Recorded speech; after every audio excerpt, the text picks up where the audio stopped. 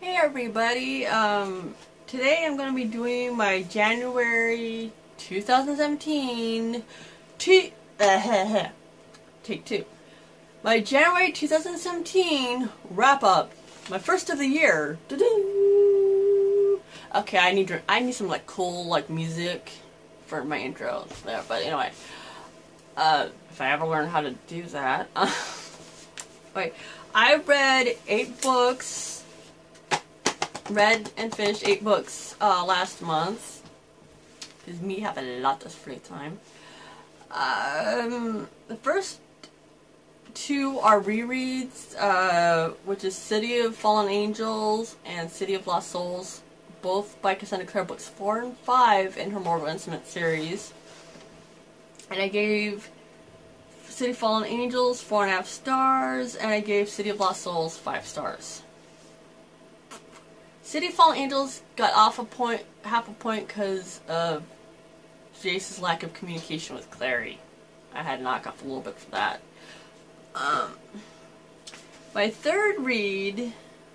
Oh, also let me know if I need to talk about this more. I feel if I talk about the books more, then I'll turn to like book reviews. So I'm like, I'm trying to keep it short and sweet. So it's just you know, I. Yet again, if there's anything I can do to prove my wrap ups or change or you know mix it up, leave it in the comments and I will read them and reply to them if it, you know is needed.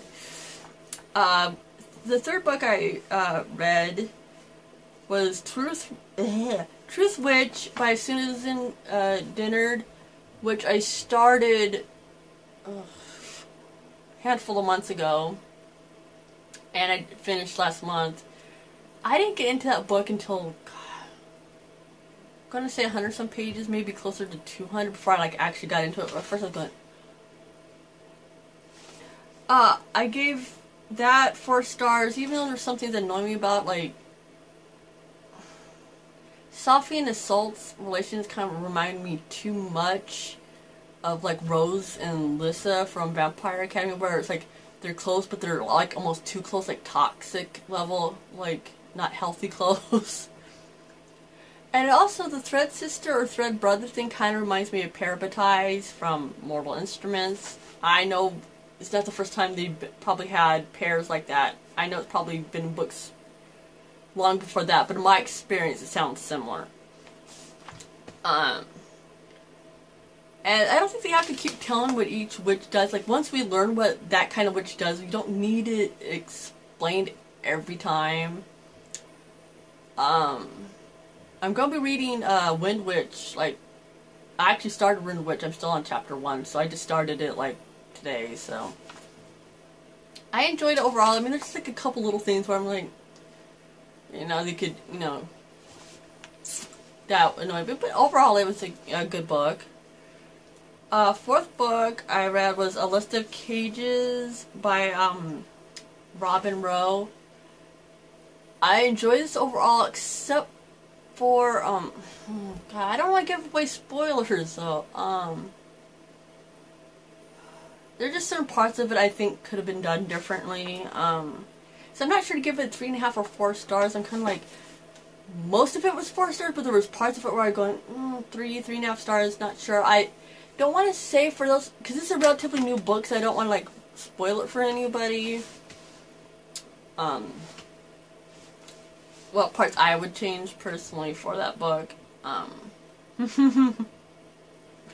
book five.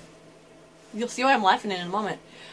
Um, was A Court of Mist and Fury, the most popular book on BookTube of 2016. I read the first one when it, you know, soon after it came out didn't like it. Um, I don't like Throne of Glass either, but or I've read Throne of Glass, Crown of Midnight, and like half of Heir Fire. I'm done with that series. Like, done. I just don't like her storytelling. I just don't. I'm gonna do a whole video on my thoughts on Co- Court of Mist and Fury because I only gave it two stars. Yeah, that's right, two effing stars. I have good reasons for it. I'm not just being petty because, oh, it's popular, so I don't like it. No, that's not it at all. It's just. I've heard that you, it's like a good good thing to like not just do book talks or reviews on books you love, but also do ones and you don't to make yourself more balanced. I guess I've heard that, so I'm not that I'm going to do negative reviews like all the time. Like just maybe like once in a great while, just to you know get it off my shoulders. You know. Anyway, book six is another one where I wasn't too impressed with it, and it's popular and it has book awards and all that. But that just means the people who read it that and were the people who give us awards go, oh, we love this. Teach their own, but um, it was Aristotle and Dante discovered the secrets of the universe. If I, yeah, see the library books, you got to turn them back when when you're done. Um, I only give that two and a half stars and I'm going to tell you why without spoiling it too much. Um, it's a contemporary, so you can't like spoil too much. But um, everybody's like, I've said this before in other books. It's so sweet. It's so it's a sweet romance between two boys, which I have no problem with. Love is love, but they literally didn't get together until the end of the book. Like the end of the book. Um, Aristotle is an ass. Beep beep literally, I don't know why anybody would want to be friends with him, let alone date him. I, I Dante was too mellow and too nice for his own good. He's one of those doormat characters, you know, like, well, you know, you're relatively nice to me sometimes, kind of, sort of. And the family thing is like, yeah, their parents were involved, but Aristotle didn't like anybody. He was mad all the time. For no really good reason in my opinion. It's like, and then mm, there's something that mm, with Dante for most of the book. Ari and Dante is like, mm-hmm, I'm not gonna say because spoilers, but if you want to know what it is, you can ask me and I'll tell you privately. Um. So, um, this is probably why I write my own stories because I can't f my piss myself off. I can write it in which way I want. Um. Anyway, uh, enough of my ranting, ram- rambling, and other such things. Book seven is another book I started a few months ago, and it just I'm deciding to like try to finish up books I'm in the middle of, or trilogies I'm almost finished with, or series I'm almost finished with. If I'm interested in the plot enough, I'll, I'll, I'll you know, work my way through. And uh, was and that read was Gathering Darkness by Morgan Rhodes, which is book three in her uh, Falling Kingdom series, which I gave three stars. Barely. Um, I was really interested. In, the characters were really good. I thought in the first book, and then like it, it soon turned into Game of Thrones real quick in that book. Like real quick. It's like it's exactly the same except for like no naughty times. That's like it. The only difference, really. Um,